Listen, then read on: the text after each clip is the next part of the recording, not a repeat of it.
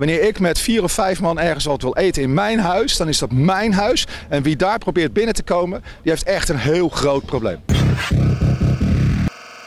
Vandaag demonstreert Pekida tegen het afnemen van de vrijheden en dat doen ze op gepaste afstand. Onze democratie komt in gevaar door de coronacrisis. Edwin, een demonstratie zonder dat het over moslims gaat.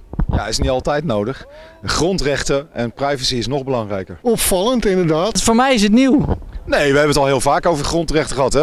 Ik ben niet uh, al zo vaak opgepakt elke keer om te laten zien wat onze rechten in Nederland zijn. En elke keer tegen het systeem. Kritische vragen in die programma's over het ontstaan, het verspreiden en effectieve bestrijden van het virus heeft geen één wetenschapper een antwoord op of wordt ontweken. Wat de media doet is die ene 30-jarige die wel problemen heeft, die laten ze vol in beeld. En ze laten niet duizenden andere 30-jarigen zien die geïnfecteerd zijn en het niet eens gemerkt hebben dat ze geïnfecteerd geweest zijn. Wanneer we allemaal nu een mondkapje, zwart mondkapje opdoen, een zwarte zonnebril en een zwart mutsje en zo allemaal op straat gaan lopen, wil ik wel eens kijken hoe lang de politie dat toestaat. Een zwart varkensmutsje. Ja, of een ander, maar wanneer we ons, ons allemaal onherkenbaar maken. Dus allemaal een zwart mondkapje, zwarte zonnebril, zwart petje. En we gaan allemaal zo op straat lopen. Dan is het heel snel afgelopen met mondkapjes. Is het heel snel met andere dingen afgelopen. Kunnen we er ook gewoon een, een boerkatje of een bivakmuts op doen? Maakt me niet uit, kunnen we ook allemaal.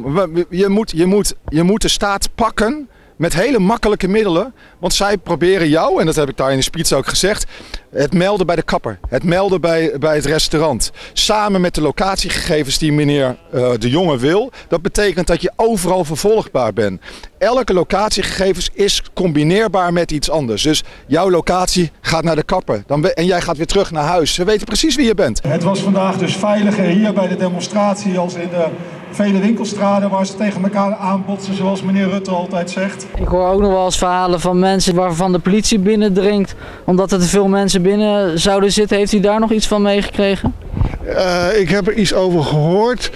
Uh, ik heb het gelezen in het nieuws. Wat, wat ik daarvan vind is dat uh, mensen de vrijheid moeten hebben om zelf mits zij niet risicogroepen infecteren, om zelf te bepalen welk risico zij willen nemen. Ik wil de eerste politieagent zien die mij van de bank haalt wanneer ik aan het barbecuen ben met vijf man. Dat was ook zijn laatste keer. Ik ga vanavond met mensen wat eten. En ik, eh, ik zou dat nog livestreamen ook, want daar heb ik echt gewoon scheid aan. Wanneer ik met vier of vijf man ergens wat wil eten in mijn huis, dan is dat mijn huis. En wie daar probeert binnen te komen, die heeft echt een heel groot probleem.